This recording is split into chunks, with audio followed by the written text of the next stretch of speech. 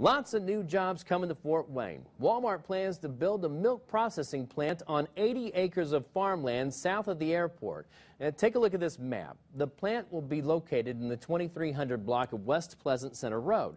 It's expected to be up and running by the end of 2017.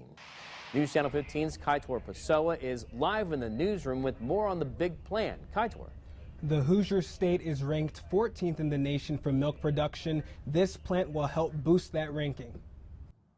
More than 200 jobs are coming to the Hoosier State. That's thanks to Walmart announcing they're building a milk processing plant in Fort Wayne. The Indiana Economic Development Corporation says it will be one of the largest in the industry. The director of Indiana's Department of Agriculture says the plant will benefit Indiana in two ways. The first is saved transportation costs for local dairy farmers the closer uh, a farmer is to his or her marketplace means less road miles, less fuel, and less labor. The second is more Hoosier grown milk staying in Indiana. He's been seeing a growing movement of consumers wanting to buy locally produced milk. It takes on a different look. Sometimes they just want to know the farmer they're buying from. Sometimes they want to help their neighbor. Some are very Hoosier spirited. Some believe there's a freshness that comes with that. One local farmer says the only problem he would have with the new Walmart plant is if it gets special tax breaks, ones that smaller local dairy farms don't get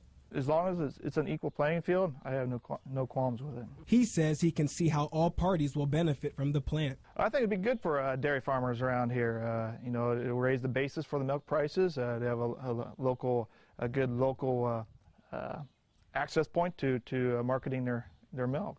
I think believe it's good for Walmart. they're getting ahead of the game in anticipation of the milk prices rising here in several years. Construction of the 250 square foot plant begins this summer.